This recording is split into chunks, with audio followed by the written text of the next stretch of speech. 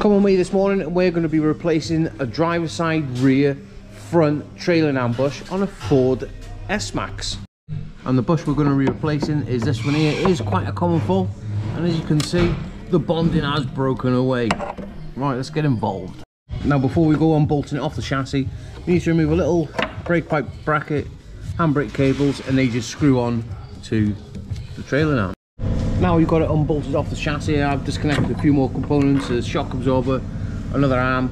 We have got enough room now. I've put my pry bar from the sill straight to the subframe to pull it down enough to get the tool in. But look at the state of that bush. Literally just pulls out. And how we're going to remove this metal sleeves, get yourself an air chisel and literally chisel it out. Now before we install the new bush, you need to make this insert here like brand new and get yourself some engine oil. You know what, I love this love this little can, it's brilliant. Engine oil just makes everything slide nice and easy. Just don't take it on with you.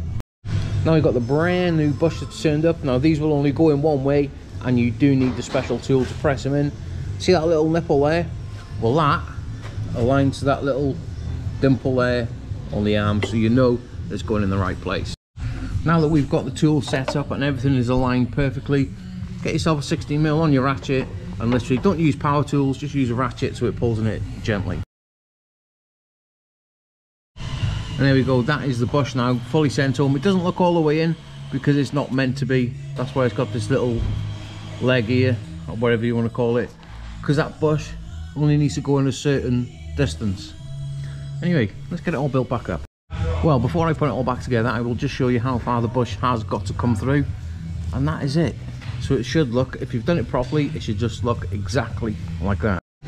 And there you have it. That is one rear trailing arm front bush replacement on a Ford S-Max. Now, after you do replace these bushes, the car does need the geometry doing because it will be out.